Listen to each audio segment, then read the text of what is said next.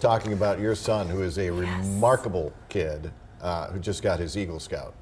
Thanks. Uh, it was an amazing journey.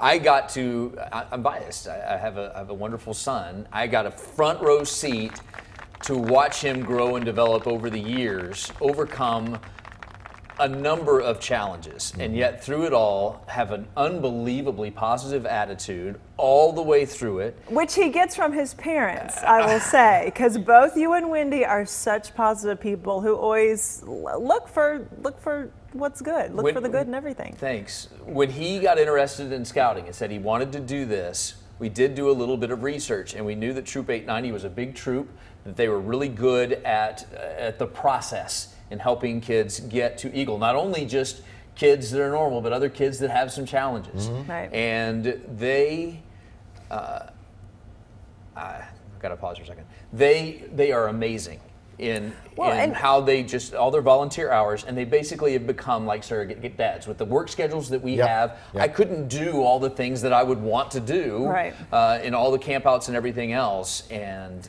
all of those dads never put him in a box let him try to figure out what he could do and he ended up doing so much And you said the doctors too. You even went to the doctors and said, "This is what he wants to do. What does he need to do? How can he do it to, to, to get there?" So Yep. very cool. Yep. and he knocked it out. Congratulations. There's a look at his uh, frisbee golf course as he christens it down at Camp John Marc. It's a camp for uh, kids that have uh, unique challenges. It's not just one challenge, and it's utilized by a number of area hospitals for different purposes. One week you might have kids with cancer. Next week it'll be kids with sickle cell.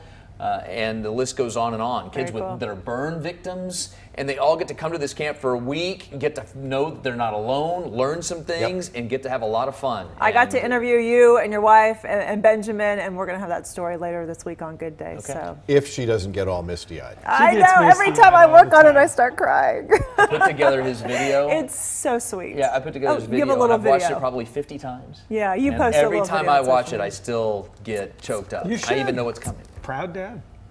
Great, Absolutely. great celebration. Glad- I'm glad he got kid. his weather badge, though. That's important. And thanks to all of you for all of your kind comments too.